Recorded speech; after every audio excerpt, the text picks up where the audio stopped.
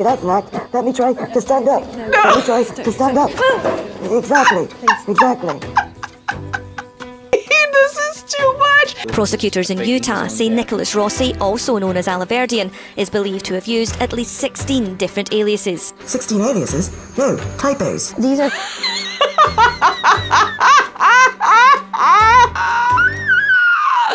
16 aliases, no. Typo. okay, listen to me. I don't know why you're here assuming that I am Swoop. I. Okay, li- li- listen to me. I don't know why you're here. this is so bad. Wait, let me try it again. Scott, okay, uh, hi, it was. I am not a person named Swoop, nor am I aware of this so-called Spanky Valentine. I am I, I, gluten freeze. What kind of name is Spanky? What kind of Spanky Valentine? Australia? I can't do Australia. G'day, mate. Uh, what kind of name is Spank Valentine anyway? That sounds like a ca- what? That's not Australia. That sounds like a character that would di- transit. What the hell is that? Yeah, that sounds like a character that would die in the first place. Why do I? I'm just going southern. That sounds like a character that would die in the first place. Paris. Okay, Paris Hilton. I could do like. Ah, that's hot. Like, oh my gosh, that sounds like a character that would die in the first episode of a Ryan Murphy show before the first credits. Like, oh no, no, I am not. Okay. Channel Andrew Tate. Channel. This is the only time in my life I want to channel Andrew Tate. Uh, what does he say? Uh, yeah, you, you're all losers. Okay. I get into character. I am an accent person named Petra von Davidson Gluten Freeze, and I firmly deny that I am in any way, shape, or form a person by the name of Spanky or Swoop or Valentine. Okay, hello, hello, hi. My name is Swoop, and welcome to the Sus Pool, a place where everything and everyone is sus. Maybe even us. Definitely me after those accents. Welcome, this is my second channel where instead of doing feature length documentary deep dives like on my main Swoop channel, instead here, we're gonna dip our toes into the Sus Pool in real time, as well as doing whatever the hell that was. Uh, I apologize in advance. Clearly it's obvious, but I just have a boring American accent, so don't get too excited, okay? I, I actually sound more like this. All right, I don't want to waste any time whatsoever today. I'm going to jump right into a clip that my team and I have been obsessed with all year. And we'd like privacy, and I would like to go back to being a normal husband. But I, I can't because I can't breathe. I can't walk. Uh, people say that's an act. Let me try to stand up. Let me try to stand up.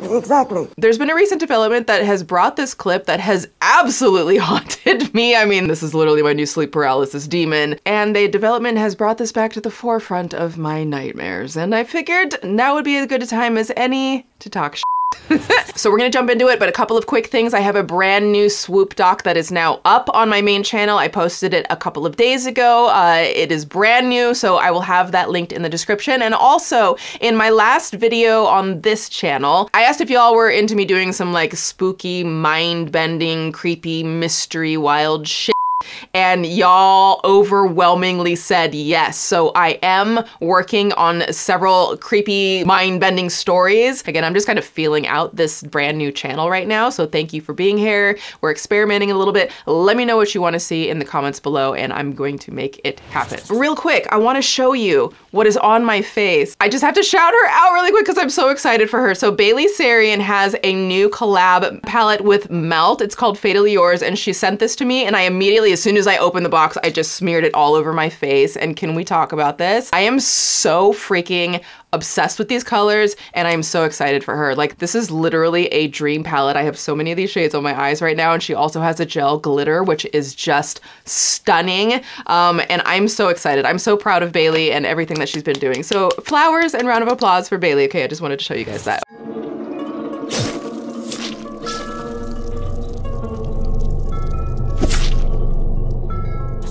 We were once a normal family, but thanks to the media, our lives have been interrupted. What do you say to people who say these are crocodile tears? He's putting on a show. This is all an act. Oh, Ika. Andrea, No, that- that's, a low blow. That's a right low blow. Okay, I don't even know where to begin with this story. Uh, for anyone out there whose first time this is seeing this clip, like, if you met this man in Scotland back in 2021 or 2022, you'd allegedly be meeting Arthur Knight, an allegedly Irish orphan who allegedly claims uh, that he's been the long alleged victim of an alleged media smear campaign. Allegedly. If you met him before 2020, you might think that he's actually an American man by the name of Nicholas Alahverdian, or Nicholas Rossi, or Nicholas Brown, or Mr. Oxygen Mask. I don't know. The man's got so many damn names in this story. The question is, why would you think that? Well, Police say this man has lived his life under at least 16 different names.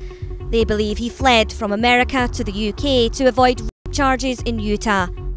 Then, in 2020, they were told he was dead. Just under a year ago, police believed they had found the fugitive in Scotland. Pulled it over on a lot of people, but he got fooled. Did the family believe Nicholas had died? No, he's not dead. He loves life too much. People who knew Nicholas Rossi, Nicholas Alahverdian, claim that it's you. DNA doesn't lie. He's a con artist, is what he is. I call him a jellyfish because a jellyfish, you can't pick it up, there's no spine to it, but it has long tentacles and it can sting you. Okay, so in case you didn't catch that in the clip, there is this article by Mary Whitfill Roeloffs out of Forbes where the lead of the story sets the stage quite well. Quote The Utah man who allegedly faked his own death and posed as an Irish orphan to escape an R word charge will be extradited from Scotland to the United States, a Scottish politician ordered after a prolonged court battle meant to prevent his return. Okay, show of hands, who's got the question? How the hell does a man from Utah even have the means to do all of this? Well, fellow Suspirians, join me on a dip into the cesspool. I've got my notes here where we are going to explain how allegedly a Scottish man was allegedly an Irish man who was actually a Utah SAer who was also once a Rhode Island politician. What the hell? Are you with me? Am I with me? Because I don't understand how this is all gonna happen.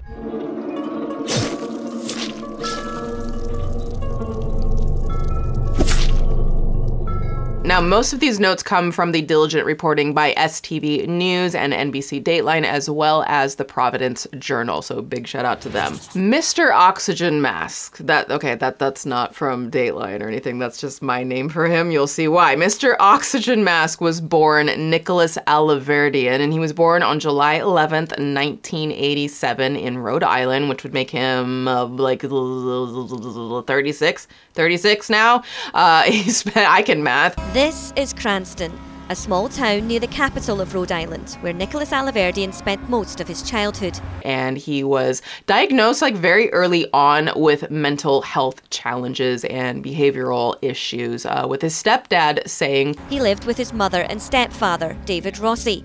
The singer, who was an Engelbert Humperdinck impersonator, adopted him when he was eight. so basically as i understand it he spent uh, a lot of his time in psychiatric care uh, in different hospitals Nicholas took his stepfather's surname, but the pair's relationship was nothing short of turbulent. From day one, when I adopted him and his brother and sister, they weren't no boggles either.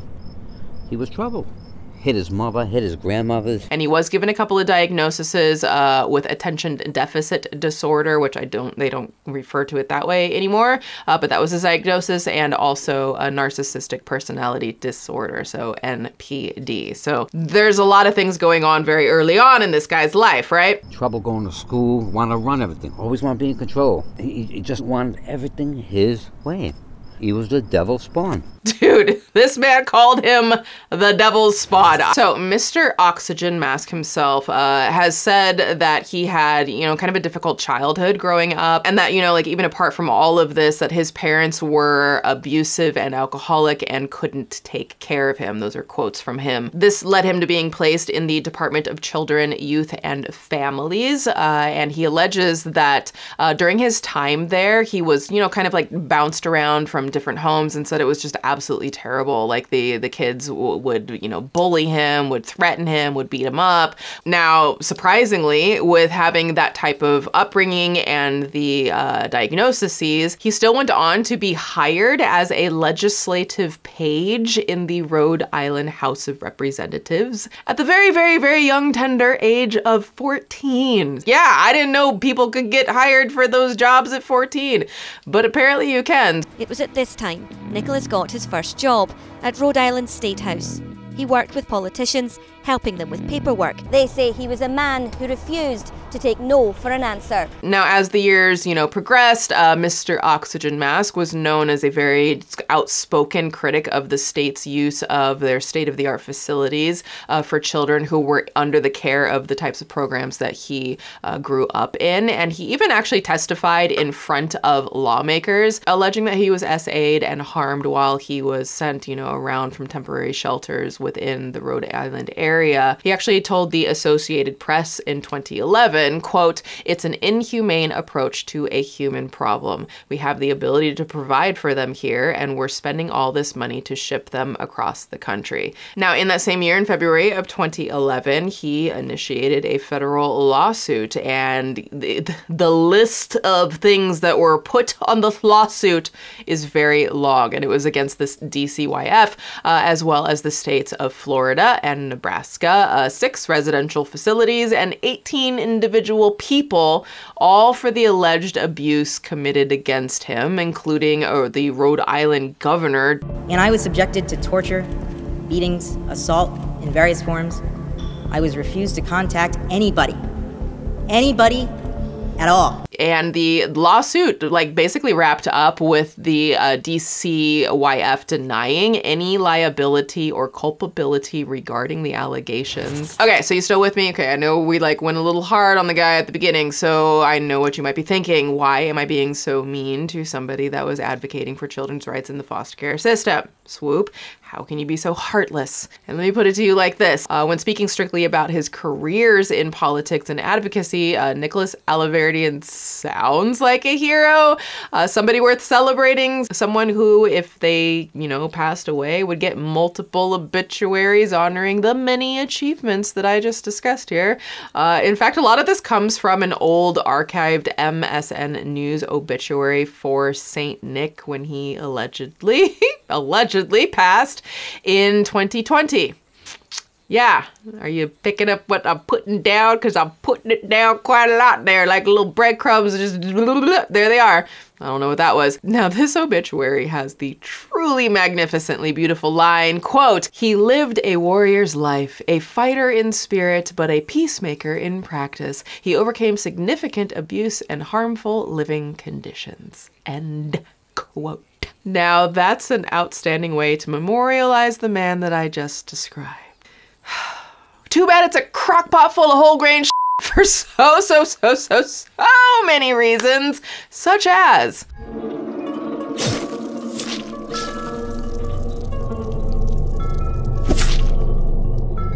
Okay, we gotta we're gonna take a look at a couple of clips here. Former state representative Brian Coogan took Nicholas under his wing he initially thought the teenager was a genuine hard worker who had an unusually keen interest in the law for someone so young. I really need to know was he did he have such an interest in the law because he's just like I'm going to break every single law that I possibly can.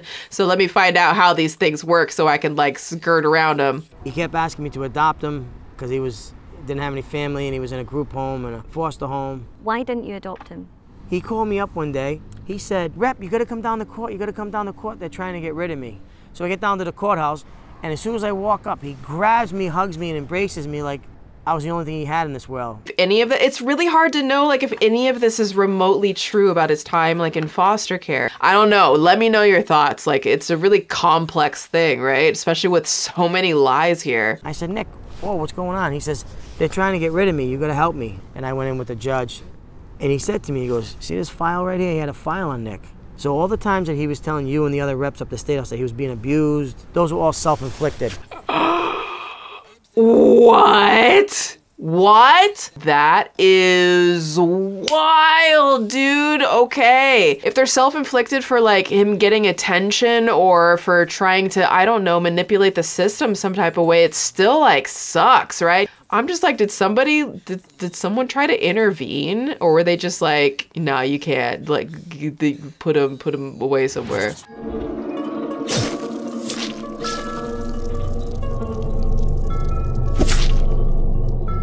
All right, we're gonna slip into a little bit of non-descriptive, non-graphic discussion uh, that has to do with SA, but don't worry, it's all censored. We're gonna keep this light.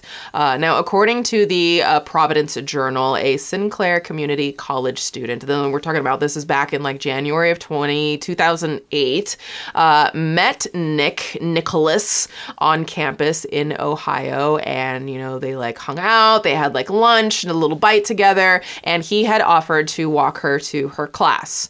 So we met at the, the campus cafeteria. He said, Do you mind if I walk you to your class? They did not make it to class, at least not in the way that she anticipated that she would. Uh, in a basement uh, kind of stairwell, he allegedly pinned her against a wall. That's all the detail I'm going to give there. And at that point, I ran up to my class and I was like, This is, I think, just the safest place for me to go right now.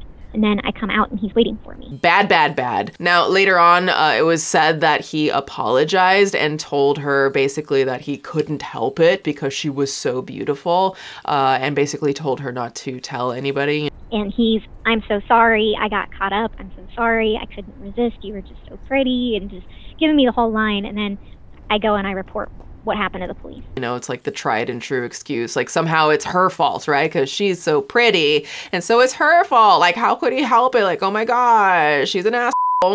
Now, the woman did file a police report, and then later on in the year, Nick, who he was at the time, he was going by the name Nicholas Rossi, uh, he was convicted of public indecency and SUL in position for doing this to that woman. He gets sentenced. The, the judge does find him guilty in my case. He had to register as a and he was then required to register as an S offender. So uh, the justice system actually working there for once. Great. But listen to this because this is so twisted. So instead of like doing what he should have done and just like, you know, I don't know, cowered in a hole and never come out uh, again, um, because what are you doing? Uh, he actually turned around and sued his anonymous victim, and he accused her of libel uh, because she had described him as crazy. And honestly, what the else adjective do you think we should be using to describe? Well, actually, I could think of far worse adjectives. So she actually was quite nice uh, referring to you as that. Uh, in 2014, his claim was dismissed. Good. Um, and it was said to be without merit. But fun fact that same year, uh, he also decided to write an essay. And what was it titled? I'm not making this up. I wish it did. It was called My Personal 9 11. Yeah, that's where he named and also blamed this woman for ruining uh, his goals and aspirations, as he put it, and straight up compared her actions to September 11. If you can imagine anything more up than that. So, yeah, that's what we're dealing with here, people. The cesspool runneth over today uh, with Nicholas Rossi Alahverdian whatever the. Let's end the cycle here. Let's get get it documented because I don't know why, but it just it felt very orchestrated and rehearsed. But you know, like bravo to the survivors for just saying like let's end the cycle here. Like listen, if somebody violates you like this, like it is not your responsibility to worry about ruining their life like if you speak out you can speak out. Please don't. It's not your project, right? They are not your project. He ruined his life the moment that he harmed somebody. And if somebody does that to you, they're ruining their own life. That's on them. It's not on you, anyways. I just, yeah, we needed to say something. Now, that's just one example of what a monstrosity this guy was, uh, even before his story went truly crazy. I mean, excuse me, uh, went off the rails. I think he would prefer that language. So if we rewind it back a little bit, in 2010, uh, Nick Nicholas pleaded no contest to domestic simple he then got married and not even seven months like after he gets married this guy is just raining terror everywhere. His wife then filed a restraining order against him. Uh, then he allegedly stalked her. So real prize winning sus here and his wife thankfully uh, later divorced him and i do hope that she's enjoying a happier life now. But nick not old nicky poo. So he got married again in october of 2015 i almost feel like when people are like this uh, they should have like if they go to get like married multiple times and they've just been like the worst in their relationships or to strangers um, there should be like you know how like when you have a passport and you're to travel to another country and then they just like a chink, you know, they give you the stamp. Like I feel like there should be like a marriage passport where if you like harm somebody and then like get charged for it. It should be like in a passport that you have to present to like even get engaged or like at least at the altar, you know what I mean? And then the like potential future spouse has like a choice, be like, do I want to stamp this passport or do I want to get a different visa? You know what I mean? I'm just it was just a thought, just I'm just putting it out there in case anybody Okay, anyways. So yeah, gets married in 2015 and seven months later, uh, seems to be a really lucky number for this guy, uh, he was divorced again on grounds of being, quote, guilty of gross neglect or duty and extreme cruelty. I know we're like, kind of like talking about this guy and this topic in like a lighter hearted tone and I'm not going into the details the way I would like in a swoop doc, like in a full breakdown. Uh, but this is like it's foul. He's foul. But in 2017, the poo poo really began to hit the fan for Nick when investigators in Utah began processing a backlog of previously untested SA kits. They're coming for you, bitch! Because there's a backlog and it's big. Uh, the following year, one of the 2008 kits was revealed to have none other than Nicholas Alahverdian's DNA in it. Shocking. Uh, it wasn't revealed until 2022, but the investigation that stemmed from this actually led to a number of absolutely intense allegations against Nick across the states of Massachusetts, Rhode Island, Ohio, and Utah. Quote, involving a number of criminal cases of S assault, harassment, and possible kidnapping from 2007 through 2019. So, you know, don't call him an overachiever, just call him an asswipe, allegedly. Ah! But, you know, what do I know? I'm just doing the backstroke in the cesspool looking for a flotation device. But the whole advocate to whole pipeline, like that's not even on allegedly, since Nicholas Alahverdian, to be clear, is a registered S offender, accused R. Wordus, and apparently an accused kidnapper too. But you know what else he is? Someone who was under investigation for fraud. Shh, Shocking, right? Yeah. So the FBI uh, started investigating Nick after his former foster mom, Sharon Lane, uh, had alleged that he opened 22 credit cards under her husband's name, building up a massive $200,000 in debt. Now, Nick's former lawyer, like, can you imagine, like, having Nick's former lawyer as part of your biography? Hi, nice to meet you. I'm Steve. Nick's former lawyer. Now, they claimed that Nick had moved to Ireland in uh, 2019 in an attempt to like uh, skirt the uh, FBI's investigation. Now, it's not clear like if his lawyer is telling the truth here. I just, you know, there's that whole what is it, zealous advocacy for your client, and then there's just, you know, being a dick and lying. Nick had actually told the Providence Journal that he and his wife had moved to Quebec, Canada, and a Rhode Island priest also claimed that Nick's wife said he had moved to Switzerland. So, yeah, and it keeps going. Uh, State Representative Raymond Hull uh, made it like even more confusing somehow uh, when he had said that no, no, no, he's actually either in Ireland or Germany. I mean, Where's Waldo? Who needs that when you can play Where's Oxygen Boy? So, for those of you keeping up at home, that's one fraud investigation from the FBI for $200,000 in credit card debt, multiple accusations of sexual misconduct, one count of kidnapping, and a partridge in a pear. Okay, I'm sorry. It's it's Christmas time. I, okay. The walls were quickly closing in on former boy wonder of Rhode Island foster care reform. And what made it even worse was that in January 2020, Nick reported to many local news outlets in Rhode Island that he had tragically, at the age of 32, been diagnosed with non Hodgkin lymphoma. And suddenly, on February 29th, 2020, almost without warning, it was announced that Nick had succumbed to the illness he had just announced. Yeah, just wait. Uh, as a foster care reform advocate, the obituaries came pouring in, uh, discussing his legacy and his diligent work in fighting the DCYF, uh, though often leaving out, you know, all that other stuff that happened to him that he got caught for. And just like that, Nicholas Alahverdian was no more. He was dead And he probably would have stayed that way if it weren't for his own damn ego. Like like I said at the start of this, Nicholas Alahverdian faked his death. but he couldn't just fake it and like move on to a private island like the rest of the people who do that kind of shit. no, he had to be like a jackass and ruin the fun and get caught.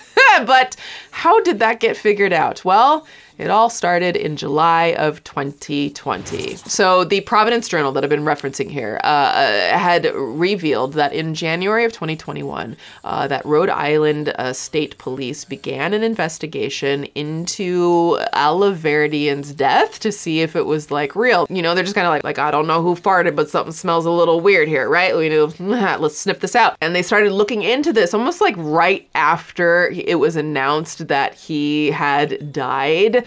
Uh, now, that investigation was uh, brought on by allegations from anonymous sources that Alahverdian was still alive, along with a very lengthy outstanding warrant against him because he was accused of failing to register as an S offender in Rhode Island um, in relation to what happened in 2008 in Ohio. Furthermore, Sharon Lane, you remember his former foster mother, the credit card thing, said that she had been approached by Nick's biological biological mother in July of 2020 who also was a little feeling a little suspicious, okay? It's a little sus. Where's the sus pool? We might need to dip in it. Uh, about the reports about his death. So you've got like the foster mom, you've got the biological mom. None of them are buying it, Nicholas. And when Sharon read the, you know, the gushing comments uh, on his obituary and all of the memorials, she was like, something's really fishy around here, and like, like I don't like it at all. Like I don't, it, like it sucks. she was basically convinced that the style of writing of the obituaries was Nick's. She thought Nick wrote it, and she believed because of that he had faked his death. Like, literally, even Nick's former attorney, uh, Jeffrey B. Pine, also thought that Nick faked his death because the news came so fast after he learned the FBI was investigating him. So that's super convenient. But do y'all want to know the single funniest reason Nick's plan fell apart so quickly? In late 2020, the website Wikipediocracy flagged the accuracy of the Nicholas Alahverdian Wikipedia article. Now, a team member named Michael Cockrum had basically said that uh, the many Wikipedia accounts that were created by Nick, so Nick created Wikipedia accounts, got many of them, those accounts that he made had edited the Wikipedia page after the date of his alleged death. I kid you not. And that one of those accounts, one of his accounts, even tried to remove an image of him and replace it with a different picture of someone else. I just, I'm sorry, but shit is so ridiculous. He's literally like, hey, yeah, I mean, I know that I said I died or whatever, but like, I just need to take down the picture. I don't want people to see that picture. Let me just go in and edit it real quick.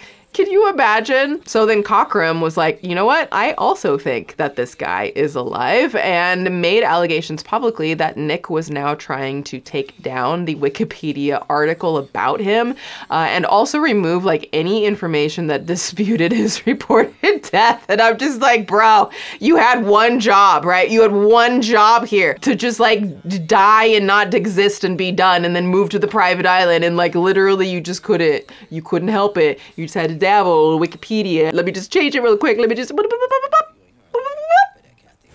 So, to be clear, if the allegations here are correct, Nicholas Alahverdian was found out by Wikipedia because the man didn't want people to recognize him. So, he changed his photo from his own account. Now, on one hand, I gotta give credit where credit's due because I absolutely cannot for the life of me think of a time where a downfall was kickstarted because of Wikipedia outside of, I don't know, like a college student just like plagiarizing their whole term paper from Wikipedia or something. That's, that's small potatoes compared to this big french fry of a up. Now from here, listen, okay, the jig is up for Nick, okay? The cards have folded, the biscuit is stale, Rihanna ain't making the album, so now it was all about finding him. So on February 1st, 2021, the Providence Journal made a follow up to their prior report stating that they got a, rambling and often incoherent uh, and nine page long email. Who is sending emails that long? Delete, do not send.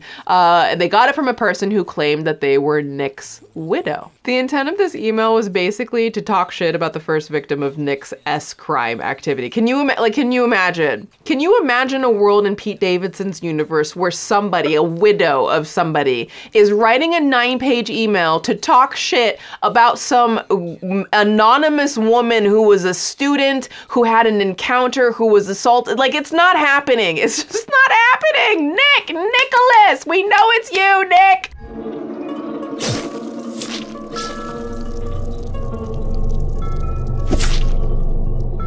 So here we are. It's December 13th, 2021. Nick was arrested at Queen Elizabeth University Hospital in Glasgow, Scotland, where he was receiving treatment for C19 under the name of Arthur Knight. Yes, he is now knighted himself in Scotland. Uh, he was identified because of his tattoos, you know, because that's how you're going to run and hide from that, uh, and his fingerprints. Yeah, way to go, Nick. Uh, which all matched police records, though there was actually scarring on one of his arms that was suggesting that he may have tried to remove one of the tattoos. And so that now legendary viral video where Nicholas Brown, Rossi, Arthur Knight, Oxygen Mask, SA Asshat Alahverdian is pretending to not be Nicholas Alahverdian and also, I don't know, pretending to be dying even though he already died once, but who the counting? Fiddly We were once a normal family, but thanks to the media, our lives have been interrupted. I need to know. I need to know who is this woman? Who is this woman sitting next to you, Nicholas? What is going on? And we'd like privacy, and I would like to go back to being a normal husband. there is normal. What kills me? So you you like hear the oxygen like running. This is not real. None of this is real. The man does not need this. It is a disguise. That's what's so wild about it, right? Listen, bro, if you're going to go through those many hoops to like hide your identity, why are you doing these interviews? Okay, just like go off the grid. This is where I look at the need for attention when I think about uh, where he may have been self inflicting things to get attention or whatever it was when he was in foster care, and the lawsuits based off of false allegations, and now this. It seems just like a constant attention grab. But I, I can't because I can't breathe. I can't walk. Uh, people. He said, I can't breathe. That's act. Let me try to stand up. Let me try to stand up. Exactly. Exactly.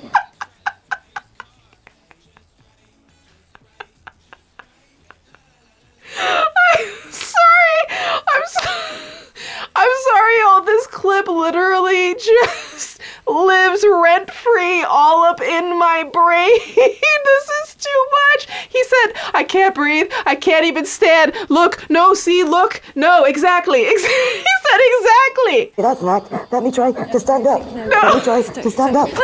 Exactly. Exactly. Exactly.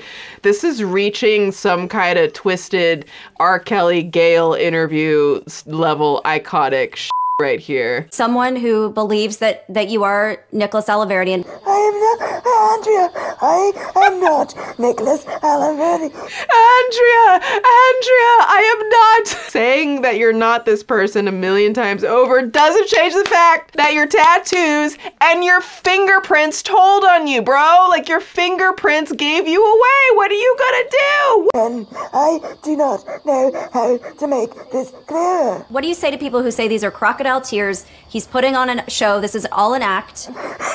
Oh, Ika. Andrea, No, that- that's, a low blow. That's a I love that he says her name, Andrea. That's a low blow. Again, who is this woman with him? Who is she? How did she sign up to this? Why did she sign up to this? What is she getting out of this? I don't understand. I am so curious, though. I want to know the backstory. Right low blow. Y'all, I'm sorry. I got to see him stand up again. That's an act. Let me try to stand up.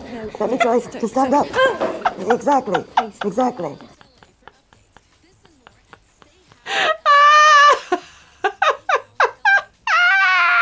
This is so unhinged, and I don't even use that word, but it like legitimately, I don't know what else to call this right now. Now, this story is currently unavailable online now through legal means for reasons that like I couldn't really figure out, but like it's okay uh, because it wasn't the first time people got to see Mr. Oxygen Mask in action. That would be from a now legendary documentary produced by Scotland's STV News, who in November 2022 released an absolutely baffling expose titled Nicholas Rossi The Extraordinary Story of U.S. Fugitive Found in Glasgow. Out on bail, awaiting his next extradition hearing. Who are you? I am Arthur Knight, and this is my wife, Miranda Knight. He's now Arthur Knight and Miranda Knight. And he's got the, the fact that his accent just keeps changing, and his accent is legitimately worse than mine, okay? And mine belongs in the gutter. And this is so funny. And I love that she's just sitting there next to him, like holding his arm, like, it's okay. It's okay, honey. We'll get through this together. And unfortunately, there are those who would claim differently. Are you Nicholas Rossi? No. Are you Nicholas completely Alahverdian? Absolutely not. It's just the thing is, there's an easy way to prove if you're not these people. It's through your fingerprints. Are you Nicholas Brown? Yes. When asked why he changed his name, Wait, she just asked, "Are you Nicholas Brine?" But he also just said his name was Arthur Knight. So, wh- did he just admit to being two different names at the same time? I want to know what's going on. from Nicholas to Arthur, he replied because it was associated with bad childhood experiences in Northern Ireland. Miranda, who claims she married her husband in Bristol two years ago, says she was there when Police Scotland arrested her husband in hospital as he recovered from COVID. Dude, they're saying that she has been married to him for two years. Can you imagine dealing with this guy for two years? Arrivals to court for bail hearings were in a wheelchair. An oxygen mask remained on throughout this interview. Again, all of this, all of this is a lie. And I'm wondering, like, what is he like when, like, when the cameras are off? I nearly died, and we, uh, we are. This is a case of mistaken identity. You say you've never been to the United States. Never in my life. Never in his life has he been to the United States, except that he's been to Ohio, Idaho, Massachusetts, uh, Utah. He's been to more states than most people will ever be in the United States. They claimed in court you were identified from tattoos. That is not true. There is no evidence whatsoever that um, uh, there are tattoos, and I've shown that to News Reporter. He said there's no evidence whatsoever that there are tattoos. Do you know how easy it would be? Just roll up your sleeves. Just roll up your sleeves. In this interview with a US network, he did agree to roll up one sleeve. One sleeve. It was up further, right? Oh. And have you had any tattoos removed?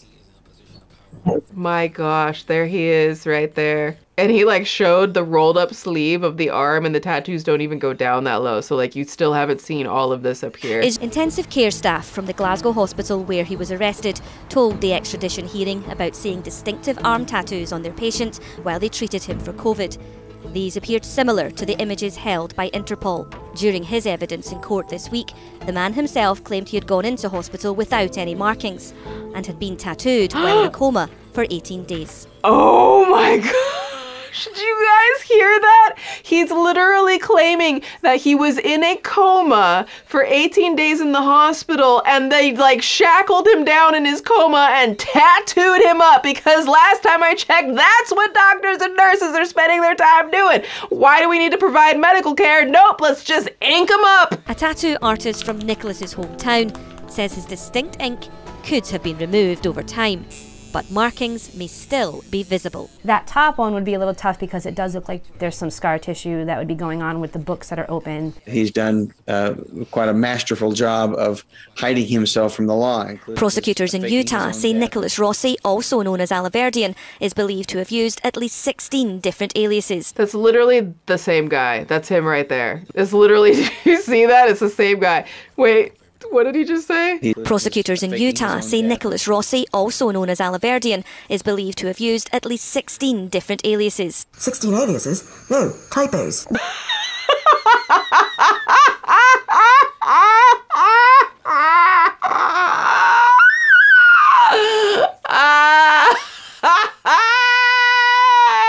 This my boy really just said that his 16 aliases were all just typos.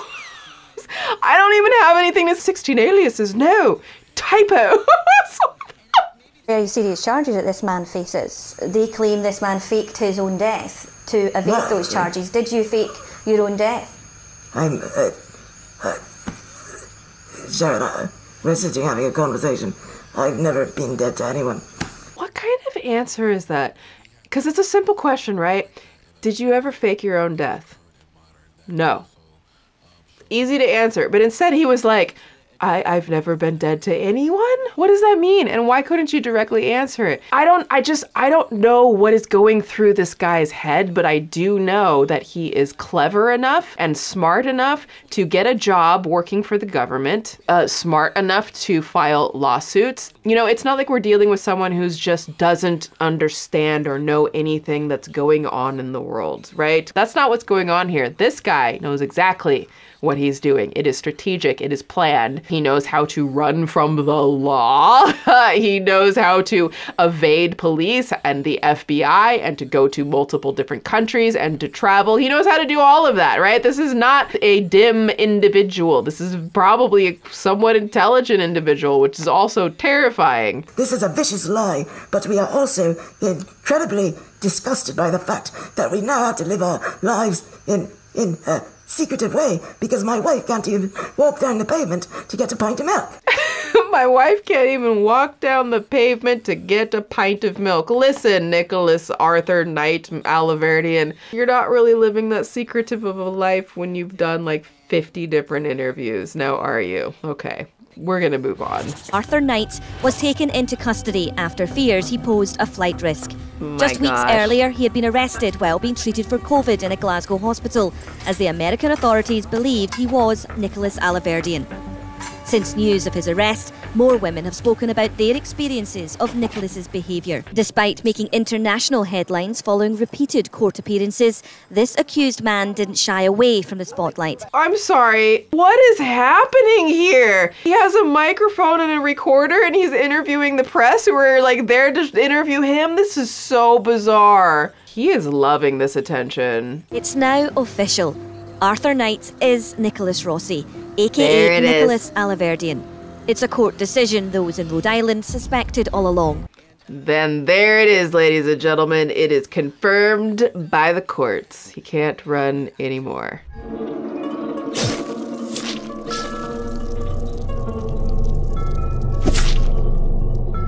So, in October of 2023, a little bit ago, a few things happened that finally seemed like they were going to bring justice to the many, many, many women Nicholas Alahverdian has harmed over the years. Uh, first, on October 5th, it was announced that Nick was set to be extradited back to the US from Scotland after a request was granted by the Scottish government. But then on October 12th, he was straight up arrested yet again in Essex for a 2017 allegation, yet again, of SA made against him. Now, I'm kind of like torn about this news, right? Because it's one chance for Nick to be on the receiving end of justice, but it's also being reported that this may delay his extradition back to the United States, where most of his charges are awaiting him. Now, worse, Nick has applied to appeal his extradition order altogether, so we're going to see how that winds up.